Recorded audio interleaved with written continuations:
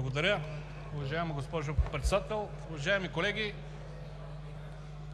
Уважаеми господин Кадиев, за мен е мярка за принципност и последователност в политиката е, с която политическа партия си влязъл в парламента, с нея да излезеш.